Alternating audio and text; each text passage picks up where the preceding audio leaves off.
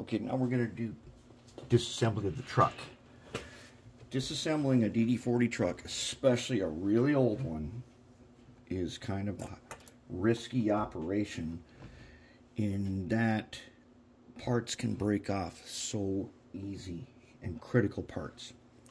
Now the way this thing works is there's this piece here which is it's the underframe and it's a little flexible and it should be.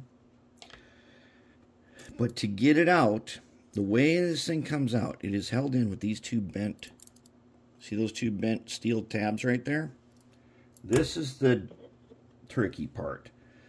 You need a little screwdriver or a little pliers a little needle now I like this jewelry one because it's it's hooked on the end. What I need to do is I need to bend these out without breaking them off. And so I'm going to very carefully, very carefully bend them out. And you don't have to bend them out flat. They got to be bent out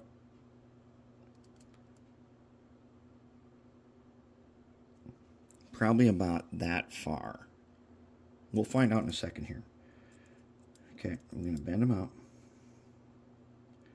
Really careful. Because if this is an old one, especially if it's like all filled with the rust and stuff, these guys can break off really easy, and we don't want that. Okay, so now basically the way this comes out is this. It's got to go over these two tabs under here. And the way I found that's the safest way to do this, I'm going to take my jeweler screwdriver. I'm going to put it in here all the way to the bottom. Now, I'm not going to lever it out like that. Instead, I'm going to put it all the way to the bottom. And I'm going to lever it out like that. I'm going to lever it out just enough slowly. And there it is. And I didn't break anything. Okay. Now this happens to be the rear truck. What I want to do is I want to set it on its side with the arm facing me. And I want to lift off this part first. Okay, it comes out like that. I'm going to take my scribing pencil. I'm going to mark on this that this is the rear right. RR. All right. I, I didn't mark this one. Okay, so this is the front right. And remember, the arms are always rights and I'm going to mark out that this is the front left. Okay, now in here, we'll take the wheels out. Okay, you're going to see this insulator, and it says DD40 on it. Now what I want you to do is I want you to take a scribing pencil. This happens to be rear, and it happens to be right. So put an arrow because it's rear, it's going to be going that way. All right.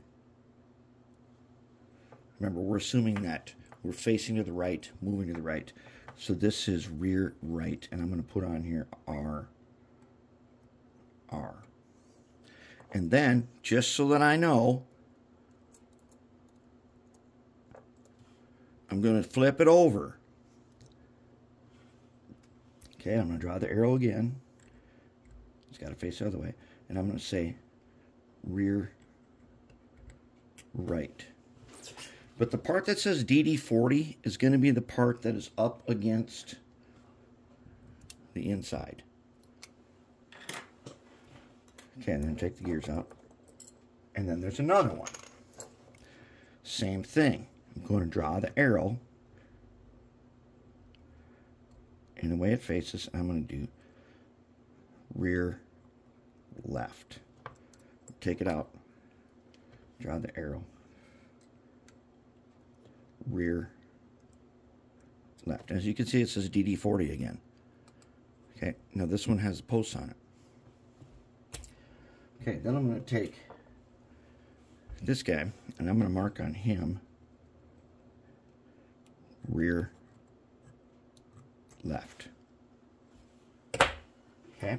Now everything's marked, everything's everything is uh, ready. And this one's brand new. We don't really have to do a lot of cleaning on it, but We are going to do something about this steel because let me show you something. Look at this old one here. This ancient one here. I've worked on a bunch of times. And it's, it's like rusting and see it's getting corrosion and stuff. And we're going to end up painting over stuff like that so that it uh, it doesn't keep deteriorating. So we want to make sure we got our scratch marks on there so that tells us what to do and how to put it back together again.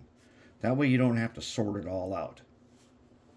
Although using our our method of sorting out parts based on picking teams, which we're going to do later, we should be able to get this back together even if it's unmarked.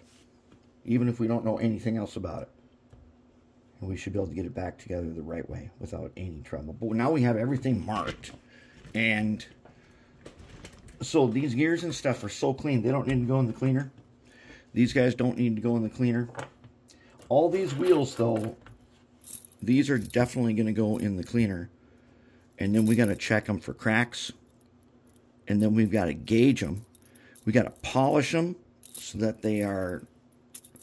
We can polish this type of, of wheel, as you've seen before. We can polish these things to where they look as good as any modern plated wheel. And then they're going to be super awesome. And then we're going to deal with with the uh,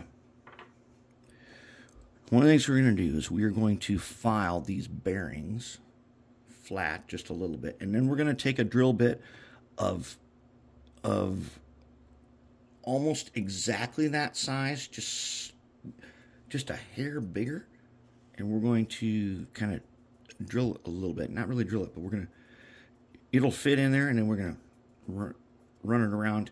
And what that does is it gives a super awesome side-to-side -side movement. Even though we've already tested the other one on the 15-inch radius, we know that these things move side-to-side -side nicely. We're going to clean up the flash. We're going to treat everything so that, one, it looks good, and two, it won't rust. And there you have it. That is the disassembly of a DD40 truck.